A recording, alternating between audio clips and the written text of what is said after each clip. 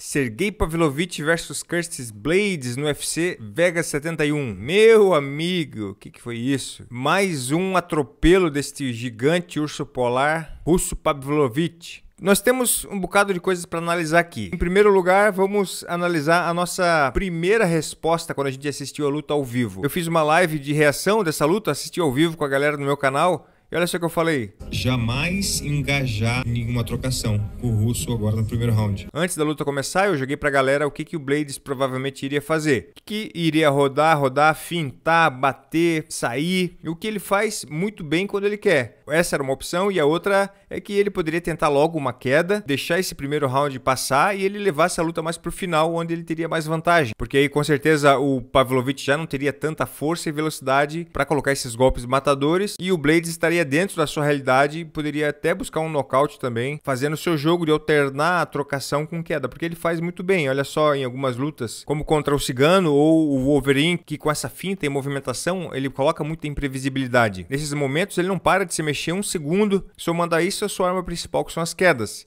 E aí o Blade se torna um alvo difícil de ser atingido e um cara imprevisível. A gente não sabe se ele vai dar um direto ou ele vai entrar numa queda. Mas aí o primeiro round começou.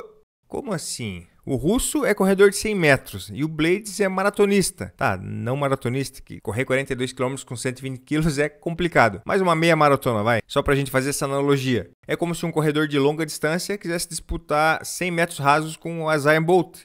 Ou seja, o Blades quis trocar porrada com um porradeiro. Só que aí, revendo a luta, eu tenho uma outra percepção do que aconteceu. Que o Blades realmente pode ter vindo com essa estratégia justamente de levar a luta para os rounds finais, de deixar o primeiro round passar e não arriscar com Pavlovich. Só que o russo simplesmente não deixou e frustrou completamente essa estratégia. E agora vamos ver como é que ele fez isso pressionando, andando para frente e não dando um passo para trás. O Blades até respondeu com alguns diretos de encontro muito fortes, que era para derrubar elefante, mas o russo não recuou, não deu espaço. Só que para o Blades entrar em queda, ele precisa de espaço. Ele precisa estar no ataque colocando o adversário para recuar. E assim ele consegue entrar com eficiência. Só que isso não foi possível. Veja como ele finta, cisca, simula dizendo: "Cara, vai para trás porque eu preciso você recuando para poder entrar". Só que o russo é igual o Brock Lesnar com técnica, cara. Muito grande. É uma parede que não anda para trás. E essa tentativa do Blades de impor o seu jogo, de fazer o adversário andar para trás,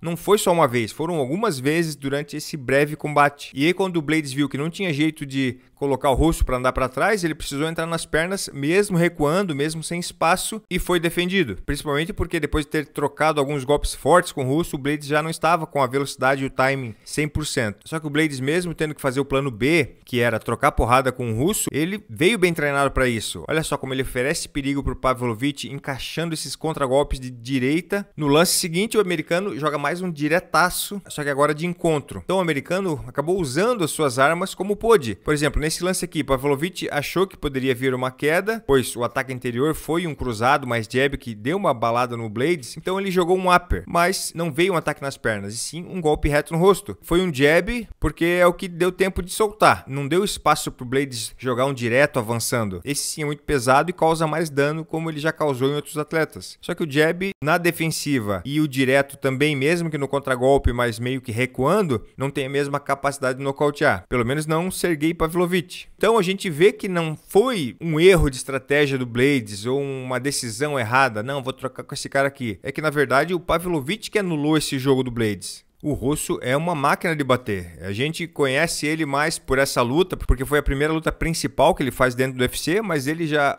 tritura adversários assim faz muito tempo. Primeiro que o jab do cara é um tiro, né? Já é capaz de nocautear só com esse golpe. E completando o arsenal de golpes do Pavlovich, temos esse uppercut e temos o overhand, né? Esse cruzado de direita por cima. Só que é interessante analisar que esse overhand não é geralmente o que nocauteia, mas é o golpe que abre caminho para o jab e também para o uppercut. Olha só, o primeiro golpe do Pavlovich foi um overhand de direita que foi bloqueado. Pegou no ombro do Blades. Ele já sentindo a paulada, já jogou o alerta para esse golpe só que abriu espaço para ele conectar um jab que já jogou o Blades para trás. Então esse golpe que todo mundo espera como o mais perigoso do russo, se não conectar na cabeça, acaba fazendo outro papel importante, que é abrir espaço para outros golpes. E aí tem mais uma outra sacada aqui que complicou bastante a vida do Blades, que é toda vez que o Pavlovich desfere um desses golpes, ele baixa o nível rapidamente e aí sim desfere esse golpe. Olha, ele baixa o nível, desfere um upper ou baixa o nível e volta com overhand. E o que, que, tem a ver baixar o nível? Pelo menos três benefícios que o Sergei Pavlovich utilizou nessa luta. Pega mais impulso nos golpes, dando mais pressão, serve como uma finta e deixando qualquer um desses golpes imprevisíveis, e serve também como uma preparação para a defesa de queda. Falando um pouquinho como uma finta. Imagina, depois que o adversário já experimentou a pegada de tanto upper ou tanto overhand, ele precisa se defender dos dois, porque os dois nocauteiam. Mas essa mudança de nível, toda vez que o russo vai desferir um desses golpes que atinge lugares completamente diferentes na cabeça, o adversário fica perdidinho sem saber qual golpe virá. Ele abaixou. E agora, será que vem o golpe por cima ou um golpe por baixo? E claro, isso é a velocidade mais rápida que o pensamento, né? Algo muito mais pelo reflexo. E o nosso reflexo geralmente diz: se o cara baixou, eu vou baixar também. Então ele toma um golpe por baixo. E o Pavlovich é muito bom em mesclar esses dois golpes. Assim como o Blades é excelente nessa questão de fazer a finta de entrada de queda ou jogar um direto, o Pavlovich ele consegue alternar esses dois, upper com overhand. E aí, combinado com esse jab, que já é o suficiente para abalar o adversário, aí lascou a vida dos pesados. Olha só um exemplo legal, vendo a luta do Blades contra o Alexei Olenik. O ucraniano fez parecido com o Pavlovich, colocando um upper avançando, fazendo o Blades recuar. Show! Só que agora, o Olenik avança apenas com jab, então o Blades baixa o nível e entra em queda e derruba. Mas veja a diferença dessa posição com o Pavlovich. Sempre quando ele está nessa distância, ele faz esse movimento de baixar primeiro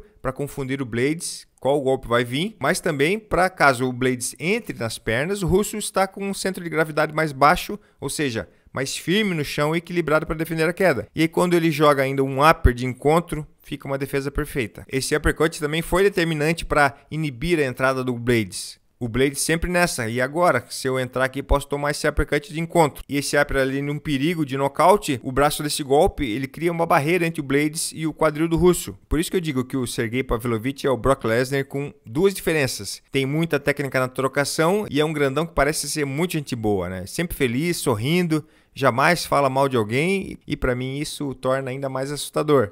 É, meu amigo, hoje eu participei do podcast do sexto round junto com o André e o Renato e nós fizemos a previsão de quem poderia estar com o cinturão dos pesados em meados de 2014. E olha, foi quase unânime Sergei Pavlovich na cabeça. É isso, turma. Se gostaram, jab pesadão no like, compartilhe esse vídeo para quem gosta de análise de luta e a gente se fala no próximo vídeo. Valeu!